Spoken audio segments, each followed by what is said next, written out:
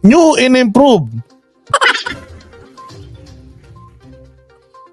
Ayan, new and improved. Project Abuloy ni Kaloy Abuloy. Palakpakan. Ayan ah, grabe. Ang ganda. So, ang pangalan pala ng, ano, ng project na to ay Project Kabayanihan. Putang ng galing. Ang ganda nito, nitong live stream niya na to, puta 50 yung nanonood. 50 yung nanonood, halos lahat inuurat siya. Ah, Bobol Lipo na, manood ka ha. Ako na magpapakalat nitong ah, PowerPoint presentation mo tungkol sa katarantaduhan mo. Okay, so dito na tayo, punta na tayo sa kanyang project kasi sinabi ko nung nakaraan yun, Kaloy, puta nagpaplano ka. Ni wala ka mang pinakikitang visual aids. Wala man lang kayong PowerPoint presentation. Paano nyo ma, ano yung ma, yung, yung mga investors, paano natin mahihikayat yan?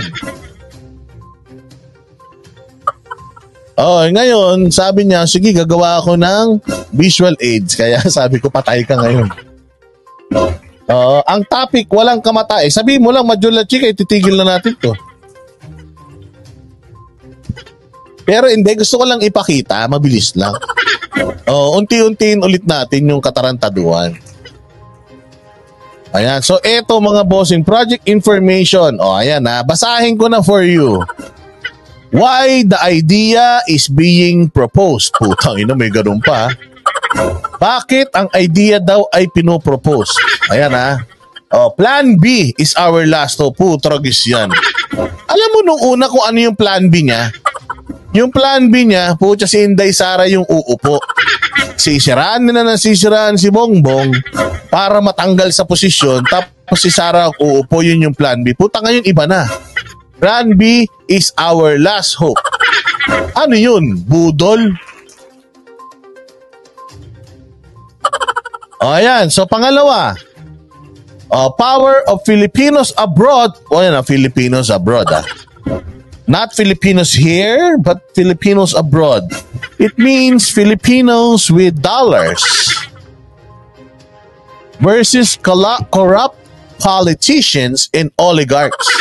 So ang mangyayari, pagsasama-samahin niya lahat ng mga Pilipino sa abroad at lalabanan ang mga kurakong na politiko at mga oligarko. Eh kung hindi ka ba naman tanga, yung mga corrupt na politicians, ang bumoboto niyan, yung iba, Filipinos abroad. Yung mga naka-absentee voting. Yung mga nabudol nyo na bumoto kay Bongbong.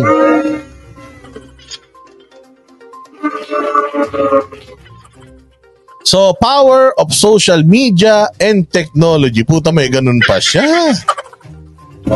Okay, so gagamitin daw ang social media plus technology.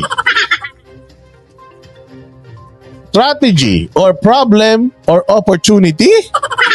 Tanginan to. Abnormal lang po siya. Umpisa pa lang loko-loko na eh. Okay, so problem is the corrupt system.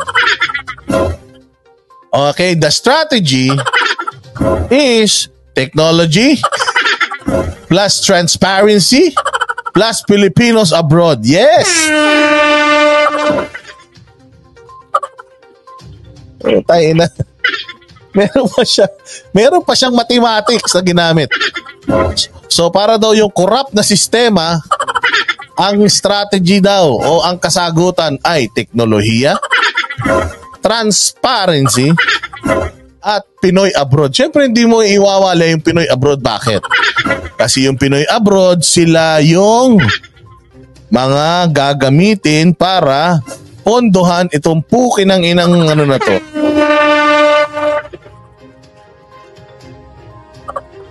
No, sige, tuloy natin. Tuloy natin tong hayop na ano, project project mythology ah.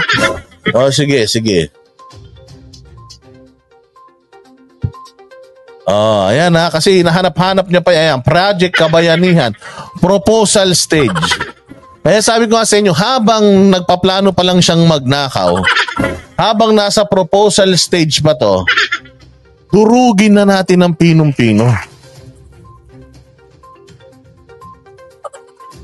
Oh, ayan. Oh. So, proposal stage, ayan na. Lalabas na si Tolonges. Ayan. Nakita nyo? Ayan, ayan. Ayan po ang proponent. Yan po ang utak na walang utak netong project kabayanihan. Putya, magpapakabayani ka. Alam mo ba ano nangyayari sa mga bayani? Namamatay sila. So, project kabayanihan, magpapakabayani ka. Putya, magtatrabaho ka, wag mong ipadala sa pamilya mo, diretso kay Kaloy. At pag idiniretso nyo yan kay Kaloy, mawawala ang mga kurap sa Pilipinas at ang mga oligarko ay aalis pupunta sa ibang bansa doon na maninirahan.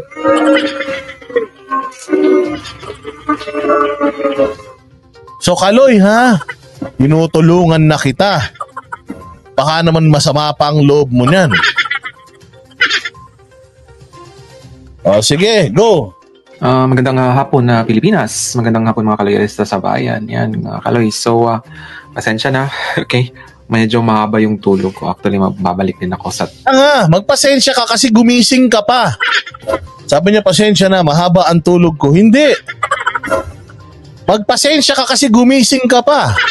Sana hindi ka na gumising, eh di masaya sana ang Pilipinas. Mahaba ang tulog. Mahaba tulog mo, wala kang trabaho. Putya dyan sa Canada, paiklian ng tulog. Ikaw pahabaan ng tulog. Putya wala kang trabaho, wala kang silbi dyan. Paano ka nabubuhay dyan? Na paano ka nakakasurvive ng tulog ka ng tulog? Gusto mo matulog ka ng matulog tapos kukolekta ka lang ng pera sa mga Pilipino ha? O sige, diretso natin. Pasensya na daw kayo. Mahaba yung tulog niya. Sana hindi ka na gumising. Meron na pa t-shirt si Kaloy. Oo nga eh. P- eh, pwede mo orderin yan. Pag in-order mo yan, bibili mo 7,000 yan. Kasama na yung ambag mo ron. O Esmi ha, bumili ka na ng project Kabayanihan ni Kaloy Abuloy. Ay, totoo yan, Jolly Wilder. Makasurvive siya pag nakabudol siya. Sa dami ba naman ng tangang OFW? Patutulog na lang siya na matutulog. Alam mo, trabahong tamad ang gusto niyan. Sabi niya, ang gusto ko magturo tapos mag-travel na lang ako na mag-travel. Anga, hindi ka makakapag-travel ng mag-travel. Kung magtuturo ka lang, kailangan magnakaw ka.